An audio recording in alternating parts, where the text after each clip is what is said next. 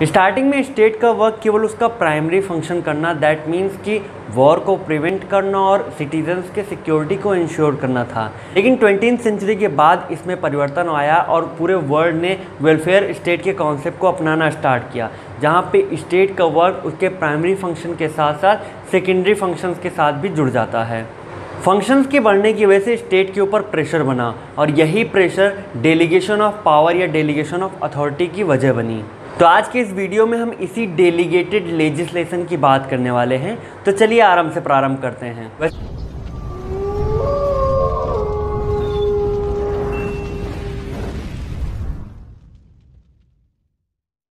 वैसे तो डेलीगेशन शब्द की कोई प्रॉपर डेफिनेशन नहीं है, लेकिन अगर इसके मीनिंग पे जाया जाए, इसके शाब्दिक अर्थों पे जाया जाए तो इसका मतलब किसी भी दूसरे व्यक्ति को अपने कामों के लिए ऑथराइज करना है, यानी अपने जो काम स्वयं के हैं, वो किसी दूसरे व्यक्ति को देना है।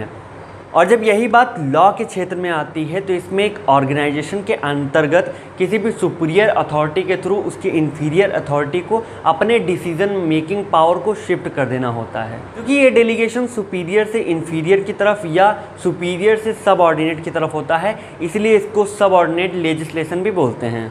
एलएन के अनुसार डेलीगेशन का मतलब किसी अन्य व्यक्ति को अथॉरिटी और रिस्पॉन्सिबिलिटी के साथ में इंटरेस्ट करना और साथ ही साथ वो अपने परफॉर्मेंस को, अपने टास्क को बेटर तरीके से कर पाए। इस सिलसिले में क्रिएशन ऑफ़ अकाउंटेबिलिटी को क्रिएट कर देना, इसे ही डेलीगेशन कहेंगे।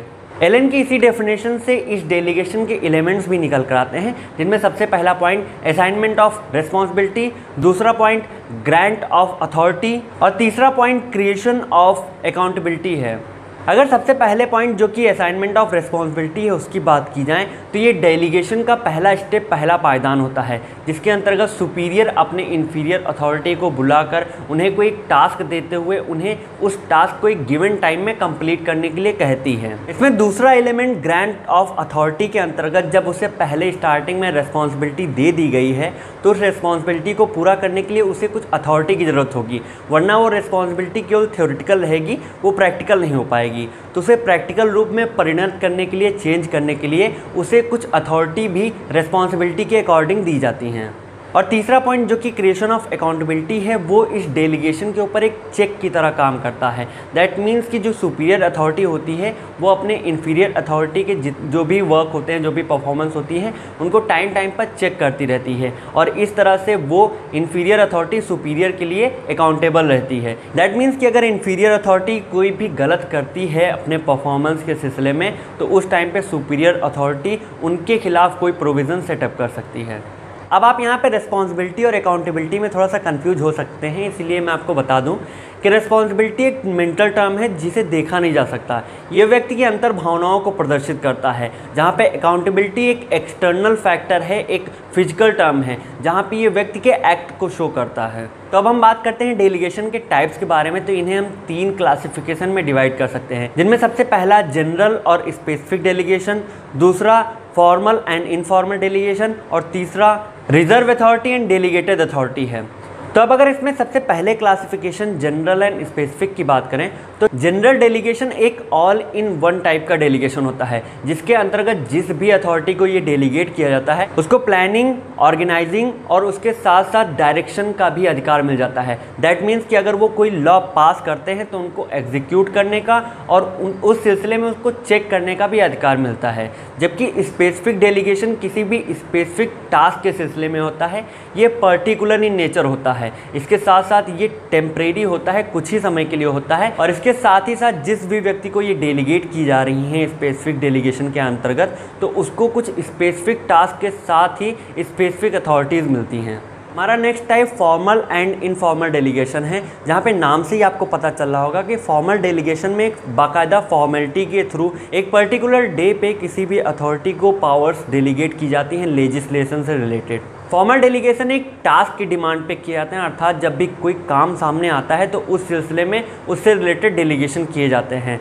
देन नेक्स्ट इनफॉर्मल डेलीगेशन वो डेलीगेशन है जिसके अंतर्गत अगर इमरजेंसी का कोई ऐसा प्रोविज़न आ जाता है कि उसमें अचानक से कोई डिसीज़न लेना आवश्यक है उस सिलसिले में अगर कोई पावर या डेलीगेशन किया जाता है लेजिस्लेशन से रिलेटेड तो उसे इनफॉर्मल कहा जाएगा, क्योंकि वो टाइम की डिमांड होती है और उस टाइम पे इंस्टेंट एक मूव लेना ज़रूरी होता है। और हमारा सबसे लास्ट टाइप जो कि रिज़र्व एंड डेलीगेटेड अथॉरिटी का है तो रिज़र्व अथॉरिटी वो अथॉरिटी होती है जो किसी ऑर्गेनाइजेशन या ऑर्गन के बेसिक या फंडामेंटल एलिमेंट्स होते हैं, और इन्हें डेलीगेट नहीं किया जा सकता, इसलिए इनको रिज़र्व अथॉरिटी भी बोलते हैं। और डेलीगेटेड अथॉरिटीज़ वो अथॉरिटीज़ होती हैं जो अदर देन रिज़र्व अथॉरिटी होती हैं और जिनको डेलीगेट किया जा सकता है। सबसे लास्ट पॉइंट में हम बात करते हैं इस डेलीगेटेड लेजिस्लेशन के कंट्रोल के मामले में। तो इसमें दो तरह के कंट्रोल होते हैं, दो पॉइंट्स पे आते हैं। जिनमें सबसे पहला लेजिस्लेशन का कंट्रोल और दूसरा जुडिशरी का कंट्रोल आता है।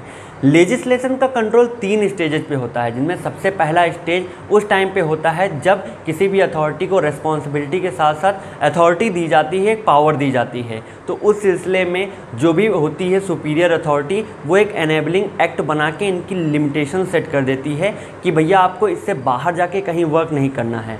दूसरे स्टेज पे लेजिस्लेशन का कंट्रोल डेलीगेशन पे इस तरह से होता है कि जब भी वो अथॉरिटी कोई लॉ बाई लॉज या रेगुलेशन डायरेक्शन बनाएगी तो उस सिलसिले में उसको सुपीरियर अथॉरिटी से उनका कंसेंट और, और उस पर एक उनका सुपरविज़न ज़रूरी हो जाता है। और तीसरा सबसे लास्ट जो है वो पब्लिकेशन के केस में आता है। दैट मीन्स कि जो भी बाई लॉज डायरेक्शन रेगुलेशन बनाएगी वो अथॉरिटी उनका पब्लिकेशन होना ज़रूरी है। यहाँ पर पब्लिकेशन व्यक्ति के पब्लिक ओपिनियन को डिफाइन करता है जिससे पब्लिकेशन के थ्रू पब्लिक रेस्पॉन्स को भी जानने में हेल्प मिलती है। जुडिशरी डेलीगेटेड लेजिस्लेशन के मामले में दो तरह से कंट्रोल रखती है।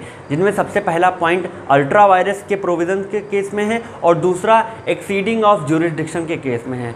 अल्ट्रा वायरस का मतलब ये हुआ कि वो सारे लॉ जो कि अदर अथॉरिटी जो सब ऑर्डिनेट अथॉरिटी बना रही है, अगर वो कॉन्स्टिट्यूशन के अगेंस्ट हैं इनकन्सिस्टेंट हैं तो उस सिलसिले में जुडिशरी उसे अल्ट्रा वायरस घोषित कर सकती है और वो एक्स वाइड हो जाएँगे। जो दूसरा पॉइंट है एक्सीडिंग ऑफ़ जुरिस्डिक्शन उसके अंतर्गत ऐसा व्यवस्था की गई है चूँकि सबॉर्डिनेट अथॉरिटी को एनेबलिंग एक्ट के थ्रू कुछ लिमिटेशन सेटअप कर दिए जाते हैं कि इसके बाहर जाके आप अपने स्कोप को, आप अपने पावर्स को एक्सरसाइज नहीं करेंगे।